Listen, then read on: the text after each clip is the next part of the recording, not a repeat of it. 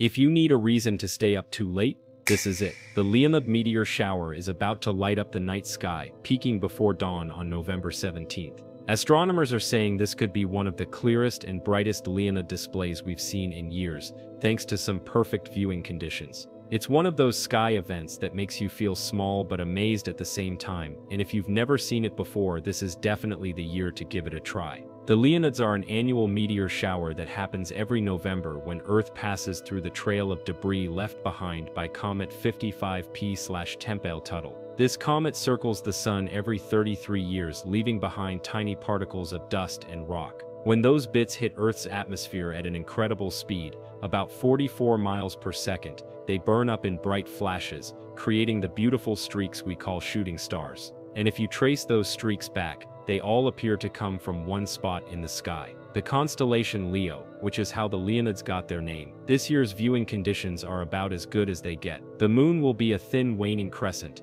only about 9% illuminated, and it won't rise until right before sunrise. That means the sky will stay dark for most of the night, giving you the perfect backdrop to spot those faint, quick flashes that are often hard to see when the moon is bright. The best time to watch will be between midnight and dawn, when the constellation Leo climbs higher in the eastern sky and the meteors become more frequent. On a clear night, you can expect to see around 10 to 15 meteors per hour, and if you're lucky enough to be somewhere far from city lights, you might see even more. The Leonids are known for their speed and brightness, and sometimes they produce what are called fireballs, extra bright meteors that can leave glowing trails lasting several seconds. While this year's shower won't be one of the rare storm years like the one back in 1966, when thousands of meteors lit up the sky every hour, it will still be an unforgettable experience if the skies are clear where you are. The Leonids are active from November 6 through the 30th, but the peak night when Earth moves through the thickest part of the comet's debris stream is November 17th. That's when you'll have the best chance to catch the most meteors. You don't need any fancy equipment like a telescope or binoculars to enjoy it. Just find a dark spot away from streetlights, bring a blanket or reclining chair, and give your eyes about 20 minutes to adjust to the darkness.